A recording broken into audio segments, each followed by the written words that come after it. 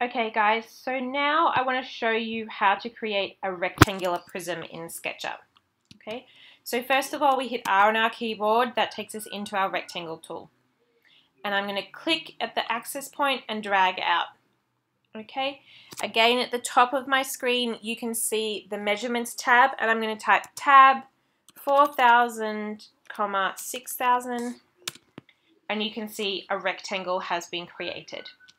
To turn this rectangle from a 2D shape into a 3D shape, we use the push-pull tool. So I'm going to hit P on my keyboard and drag up.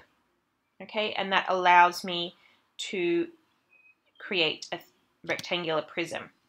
If I then want to export this as a 2D graphic, what I can do is File, Export, 2D Graphic, and I can save it as a JPEG